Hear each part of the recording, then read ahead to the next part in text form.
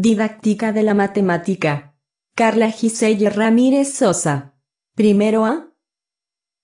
El estudio de la didáctica es necesario para que la enseñanza sea más eficiente, más ajustada a la naturaleza y a las posibilidades del educando y de la sociedad.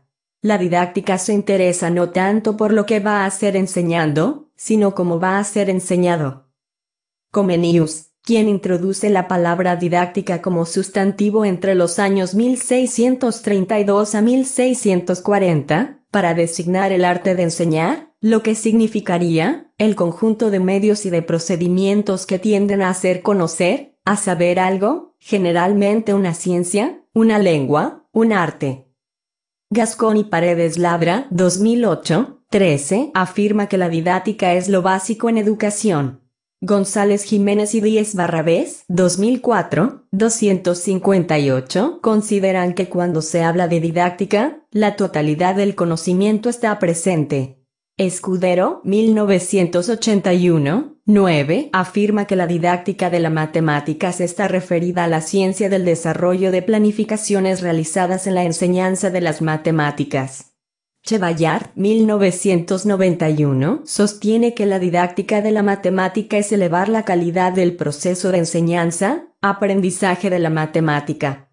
Conceptualización de la didáctica. Origen y enfoques de la didáctica de la matemática.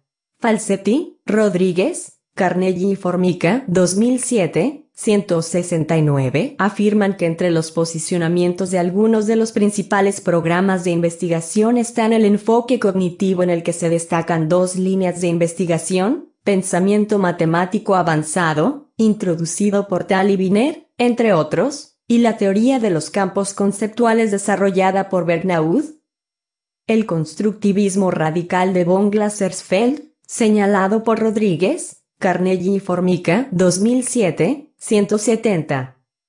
El constructivismo social, que tienen Ernest. El enfoque fenomenológico debido centralmente a Freudenthal, explicado por Rodríguez, Carnegie y Formica, 2007, 172. En el enfoque semiótico, introducido por Godino y Batenero.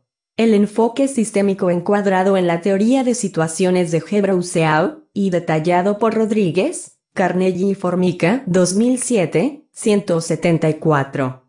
El enfoque antropológico tiene como uno de sus principales exponentes a Y. Chevallard. Didáctica de la matemática en preescolar. La didáctica de la matemática tienen en el nivel preescolar unas connotaciones específicas que revisamos en este apartado. Rebeco Vergara, 2007, 107, sostiene que el campo de la pedagogía surge en la convención para el enseñar y el aprender, y su teoría vive en función del momento en cada momento en que está y se está desenvolviendo. Pascual Lacal, 2009, 6. Afirma que el pensamiento lógico matemático se puede recorrer didácticamente de la siguiente manera, estableciendo relaciones y clasificaciones entre y con los objetos que le rodean, ayudando en la elaboración de las nociones espacio-temporales, forma, número, estructura lógico, que son indispensables para su desarrollo cognitivo, impulsando al niño a averiguar cosas, a observar, a experimentar, a interpretar hechos, aplicar sus conocimientos a nuevas situaciones. Desarrollar el gusto por una actividad del pensamiento a la que irá llamando matemáticas.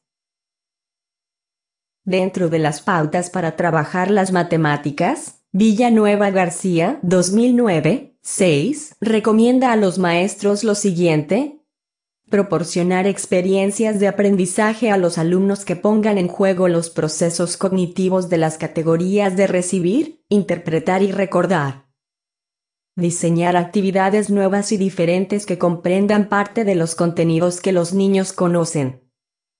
Formular en la clase diferentes preguntas, sobre todo inductivas.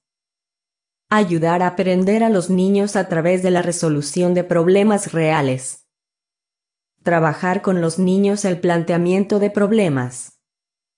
Potenciar el aprendizaje cooperativo y colaborativo realizando actividades apropiadas, por ejemplo, juegos matemáticos. Los números ordinales y cardinales, también trabajados en la educación inicial. A. El número cardinal se define como la propiedad que tiene en común dos conjuntos equivalentes entre sí. Por ejemplo, los conjuntos formados por niñas y niñas y sus bolsos escolares son equivalentes entre sí porque a cada niño le corresponde un solo bolso o morral. B. El ordinal indica la posición relativa de un número en la secuencia numérica. Por ejemplo, el término 5 en su aspecto ordinal nos indica que dicho número es el quinto en la secuencia, que delante de él hay cuatro términos, comenzando por el 1, y que detrás van los demás números a partir de 6. El 5 va detrás del 4 y delante del 6, por lo que ocupa un lugar único.